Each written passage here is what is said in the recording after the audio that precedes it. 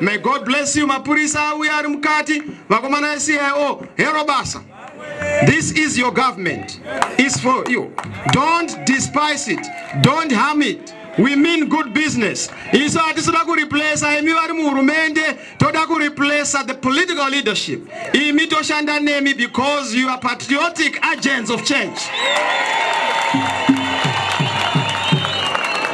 ndo zvatoda kuita muno. Masabhuku hapana anobviswa. Ushe hunodzokera kumadzinza. Hahuchaitwi nepolitics. Hakuna ishe achapinda munyaya dzepolitics ari mujibha. Patiri muhurumende ishe uri wemadzinza unogadzwa nedzinza woita zvemagariro nemadzinza hatiri kukuona uchiita mujibha wemusangano wese whether mdc oro zanu oro zupuko oro ntu. You are the representative and the leader of the people tidizvo tapedza basa tatichitenderera nyika yose sandikudikwa ikoko. Ukaenda kuvulawayo ngangene mufana ukaenda kubhinga kune kuchitaurwa nganjile murombe. Ukaenda kuna navulilima ngalisane musiyane ah kwese!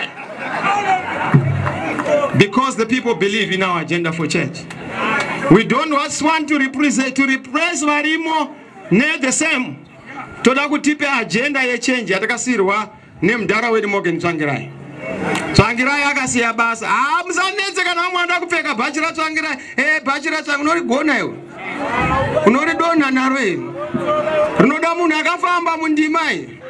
Inoda makata kai vanhu vasingavhunduki? Timu yatinayo kunoko vanoziva kuti kana tabata toita hwejuru hatinyengerwi isu. Ukada kutibata kumeso tokubata maoko tokuza kuti mira. Paka state hatiite zvokutisana tinoita zvinoita kunyika. Ende kupi? Thats why next year 2022 is a defining year for change. Isu hatidi violence but we know kuti macomrades mamwe atinotamba nawo when they are desperate they are violent but problem yandeyekuti vehasha vakundi wenyasha